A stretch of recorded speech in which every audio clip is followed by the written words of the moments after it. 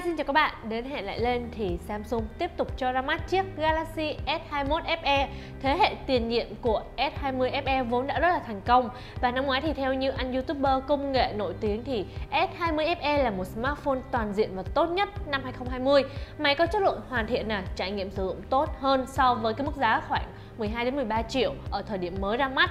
Vậy thì năm nay S21 FE có còn giữ được những cái phẩm chất tốt đó của S20 FE không? Hãy cùng tìm hiểu em nó với mình nha.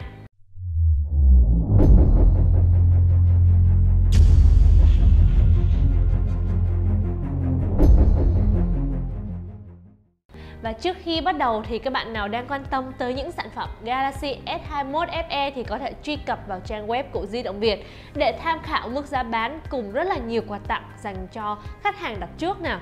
Và chưa hết, giá nó sẽ còn tốt hơn nữa nếu các bạn không có nhu cầu lấy quà. Hãy liên hệ ngay tới hotline của Di động Việt để tham khảo nhé. Đầu tiên thì ấn tượng của mình về chiếc Galaxy S21 FE này đó là phần thiết kế nào. Máy có một cái thiết kế tương tự như là hai người đàn anh S21 và S21 Plus. Một màn hình phẳng nè, một mặt lưng nhựa phủ bóng, một lớp mát Và cùng với một khung viền bằng kim loại cho cảm giác chắc chắn. Điểm khác biệt có lẽ là nằm ở cụm camera. Thay vì một khung kim loại ôm trọn từ khung viền ra mặt lưng như là hai chiếc máy kia Thì phần camera của S21 FE là một khối nội trên bề mặt cụm mặt lưng máy Và độc lập với cái khung viền. Màu sắc này thì năm nay Samsung giới thiệu là bốn màu khá là trẻ trung trên cái chiếc Galaxy S21 FE này. Còn phiên bản mình đang cầm đó là màu xanh min khá là giống với trên Galaxy Buds 2 của mình. Nhưng mà mình lại thấy màu đen mát thì trông đẹp nhất. Mặc dù là chỉ qua hình ảnh thôi nhưng mà mình hy vọng là sẽ được trên tay cái phiên bản màu đen đó. Nói chung thì thiết kế của S21 FE hướng đến sự uh, trẻ trung cho Gen Z. Nhà bằng cái màu sắc nè chất lượng và cảm giác cầm máy cũng khá là thích nữa. Và máy sẽ không nặng nhưng mà vẫn thể hiện được sự cao cấp. Đằng sau rồi thì đằng trước nha. Phải nói là màn hình này thật sự là rất đẹp luôn. Theo mình thấy thì cái chất lượng hiển thị trên chiếc Galaxy S21 FE này không hề kém cạnh so với hai người đàn anh S21 và S21 Plus.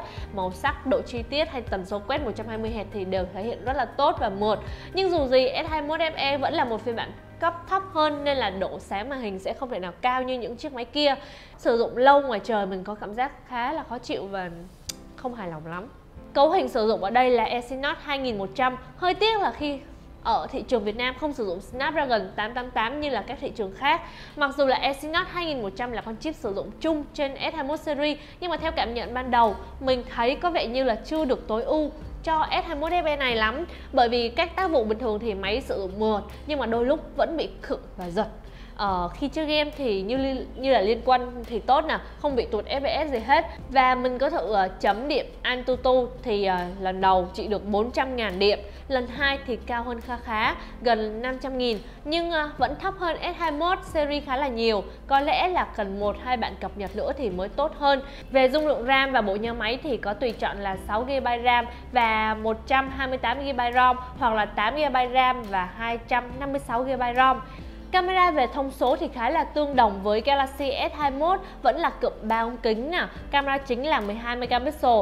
Camera góc rộng là 12 megapixel và camera tele là 8 megapixel thay vì 64 megapixel trên S21. Bù lại thì máy có khả năng zoom quang học là 3x so với chỉ 1.1x à, như trên S21. Mình khá là muốn có S21 ở đây để thực hiện so sánh khả năng zoom này.